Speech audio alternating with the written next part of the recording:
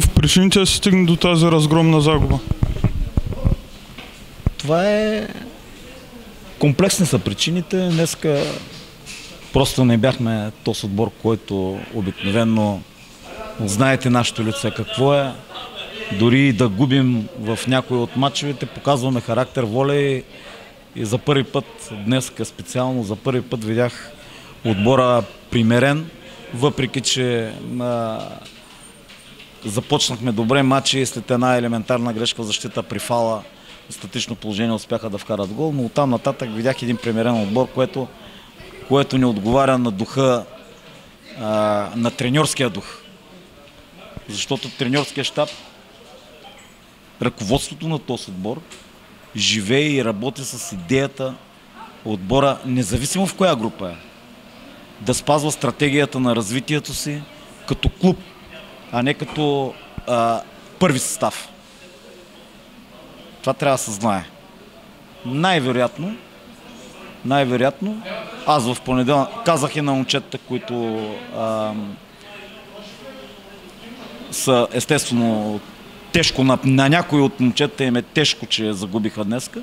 Аз им казах, даваме им два дена сега почивка и в понеделник на тренировката в 3 часа искам да видя хора, които започват от нулата и имат желанието и идеята да работят с треньорския екип, който влага абсолютно всичко, работи правилно, целите си сили, за да може този клуб и, и, и, и този първи отбор в момента да, да се развива.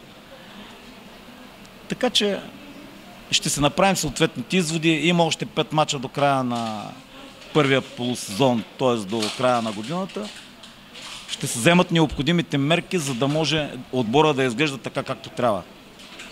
Резултатите, то е ясно, че в момента ни липсват, но до сега играехме. Нямаше отбор, който да ни е надиграл. Причини много в загубите, но нямаше отбор, който да ни е играл. Днеска бяхме надиграни от отбора на Монтана и, и това благодарение на нашата игра. Казахте примиренчество само на липсата на точки ли го отдавате? Разбира се. Разбира се, че липсата на резултати а, дават едно така тегово настроение в нашия отбор, въпреки че по време на тренировките не позволяваме това нещо, а напротив искаме, има настроение, тренировките се повеждат правилно, а, работи се целенасочено спрямо дадения противник, който предстои да играеш. Но самите резултати, колкото и да говорим ние, водят до тези неща. Другото, шанса късмета бяга, то се вижда и на терена. Един отбор стреля от 40 метра и вкарва гол, другия отбор минават покрай градите, покрай това. И така е. Така е. Ще успеете ли да вдигнете отбора? Ще, ще се опитам. Но аз още един път повтарям едно нещо, което трябва да се знае. Значи, този клуб и тази стратегия, която сме изработили, сме двама човека. Президента на клуба е и аз. Ние си спазваме стриктно и строго, без залитания. Ми първите три години ние сме в а, тройката, четворката на... И само когато пуснахме малко парата, за да и не се класираме в първа лига. Сега, тази година, още в началото го казах, ще бъде много трудна година, защото в пътя ни на развитие това нещо е начертано. И имаме си ги и си ги знаем къде са ни проблемите. Но, казвам може един път, ние сме начертали стратегия, която разработваме като клуб, не като първи състав. И в този първи състав ще играят следващия сезон и следващите години футболисти, които ще бъдат отдадени на идеята на, на Созопол. Никога няма да приема футболист, който да дойде да играе за пари, за заплати. В този клуб за пари не се играе. Ако се отдаден на идеята, на небесно-силната идея, ще играеш. Това е моето желание и така ще бъде. Още преди началото на сезона казахте, че това ще бъде най-трудният сезон за Созопол в етапите, които сте предвидели за развитието на клуба.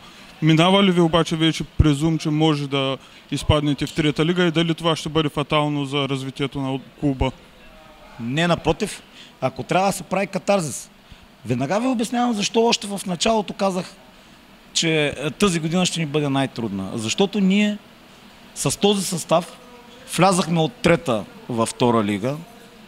Направихме една-две промени. Всяка година се правеше по една-две промени, не толкова много.